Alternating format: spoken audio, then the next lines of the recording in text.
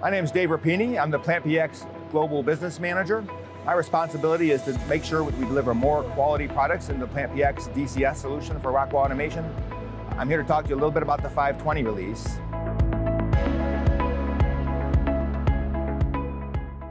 The 520 release expands the capability of the PlantPAx 5.0 core and delivers more functionality for our end users.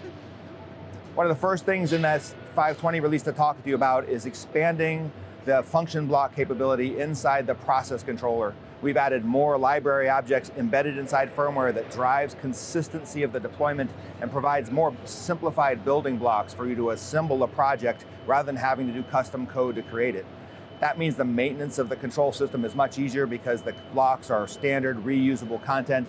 Maintenance people understand what they're going to see and you don't have to worry about an engineer going rogue and going into some other areas with his, his coding activities. Another capability in the 520 release is Sequence Manager.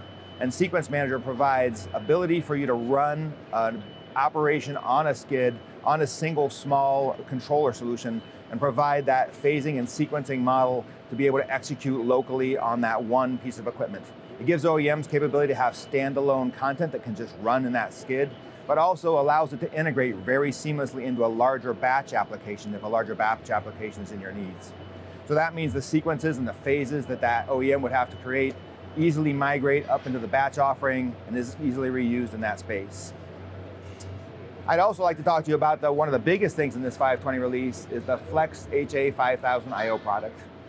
This is a fully redundant IO product with fully redundant backplanes, comms infrastructure, um, power supplies, provides that stability and that robustness that our process customers expect to have a system that has no downtime um, it has simplified failover, so if one of the I.O. cards fails, it takes care of all of that content for you with no custom code to worry about which I.O. channel is up. Each individual channel is fully configured to be able to be a analog in, an analog out, a digital in, a digital out, or a HART in and HART out.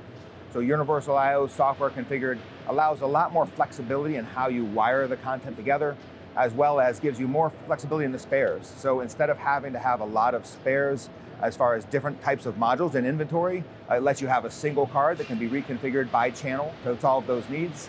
It also lets you do content around um, being able to have capacity on-prem in the rack.